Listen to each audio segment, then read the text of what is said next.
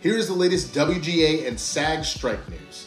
Warner Brothers Discovery execs reported the ongoing work stoppage has brought a savings of more than $100 million during Q2. Weird flex, but okay. I guess if you're in the habit of overspending on IP and then bombing at the box office, to lose $130 to 200 million dollars at a time, saving 100 million dollars must feel like a win.